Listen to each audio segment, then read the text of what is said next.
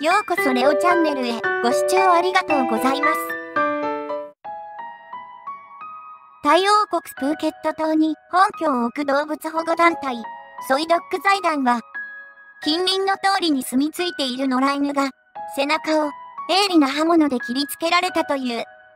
緊急の救助連絡を受けました。連絡をくれた女性の話によれば、ジブリと名付けられたこの女の子の犬は、6年以上にわたり、この通りで暮らす野良犬でしたが、地元の親切な人々から食事をもらい、多くの人々から可愛がられていたと言います。しかし、ジブリを迷惑だと思っていた一部の人間が、近寄ってきた犬の背中を、非常にもナイフで切りつけたのだと言います。救助スタッフが現場に到着すると、ジブリは自分の身に何が起こったのかわからず、痛みに耐えながら地面に這いつくばっていました。すぐにジブリの目の異常に気づいたスタッフは彼女の目がほとんど見えていないのではないかと思いました。ソイドッグのシェルター内にある動物病院に到着したスタッフはすぐに獣医師と医療スタッフにジブリの緊急治療を依頼しました。獣医師の検査の結果、長い間治療を受けることができなかったジブリの両目は、慢性結膜炎と炎症から、すでに視力を失っていたことが分かりました。幸い、ナイフによる傷は比較的浅く、修復することができましたが、ジブリの視力を回復させることは、残念ながらできませんでした。ジブリの瞳は、もはや、彼女に痛みを引き起こす原因にしかなっておらず、後日、獣医師による摘出手術が行われることになりました。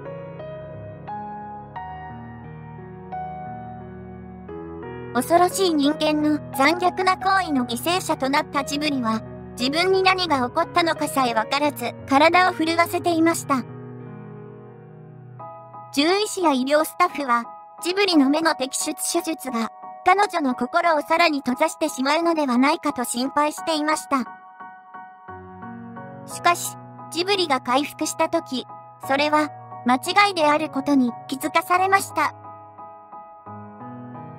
自信を持ってシェルターのドッグランを駆け回る優しく穏やかでフレンドリーなジブリを見てください。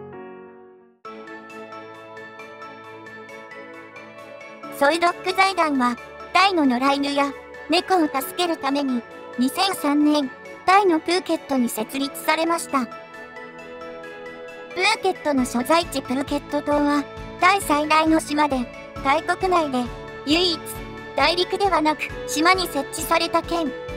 プーケットは、1980年代以降、世界的な観光地となっており、年間を通じ、多くの観光客を集めています。当時、プーケットだけで7万以上の野良犬がおり、去勢もされておらず、その数は驚くほど増加していました。しかし、ソイドッグによる野良犬や猫の保護、譲渡、去勢手術により、プーケット島の野良犬は大幅に減り、ソイドッグ財団の話によれば、おそらく2025年までに、プーケットの路上やビーチにいる野良犬は、ほとんどいなくなるだろうと話しています。また、ソイドッグは、毎年、タイ全土で何万匹もの野良犬や猫にワクチンを接種。2003年以降、累計65万匹以上の動物たちを去勢。現在、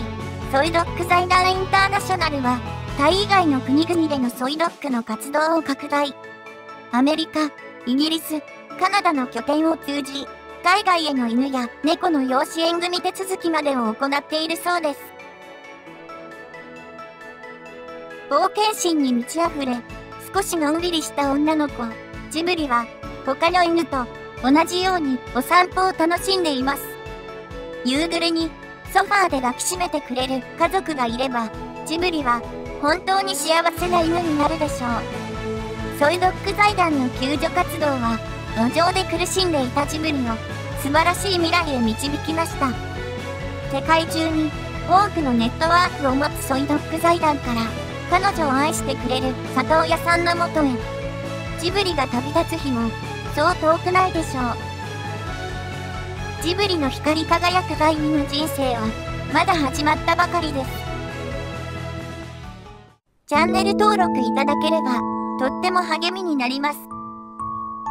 よろしくお願いします。